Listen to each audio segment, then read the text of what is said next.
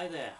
Um, I'm about to make a video about my GT8, Boss GT8 connecting it to a Marshall combo amp using the 4 cable system.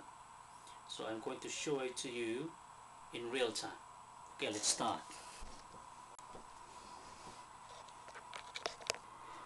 First of all, it's my GT8 as you know. Maybe you have it. And over here is my Schecter C1 Classic guitar. And next to it is a Marshall AVT amp. It's 265 275 rather 275 watts in power and I'll be using a Mogami cables there are four of them this is the back of the amp and it has an effects loop so you can see there, there is a return and send outlet. Okay let me start by attaching the cable into the input of the guitar right there. So you can see the other end attach that to the send of the effects loop of the GT8 right here there. The second cable would be from the send effects loop send at the back of the amp. Like that.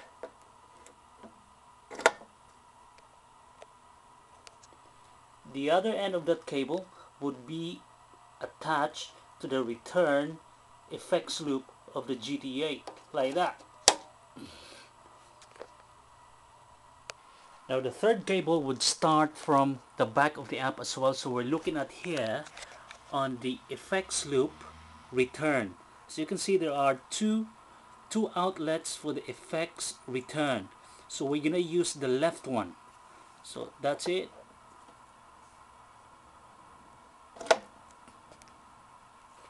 And then connect the other end to the output of the GT8 right here which is the output left side.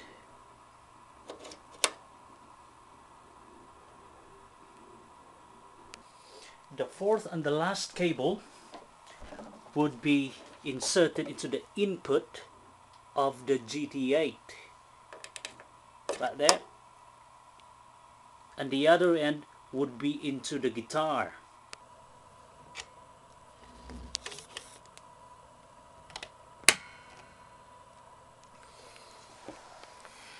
so we'll switch on everything starting from the amp.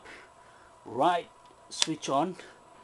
Then as you can see lights are coming on.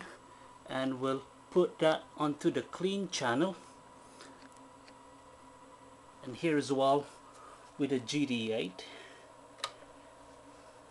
and GT8 will come on onto the fifth bank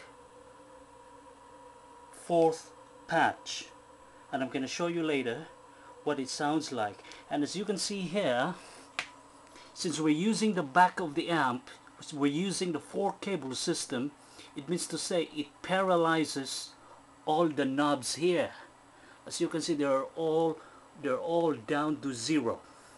And the only usable knob here is the master volume and the effect loop button which is I put this somewhere in the middle and the volume we sound like 3 or 4 because it's too loud in my room. So we're gonna try this one now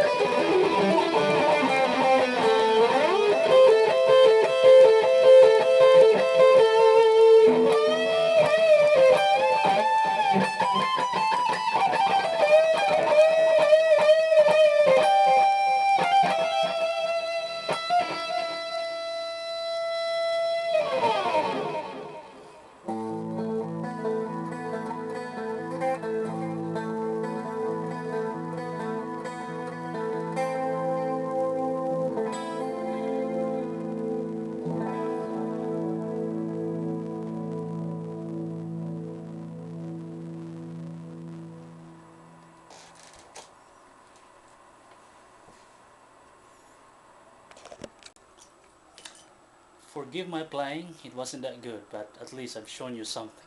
Alright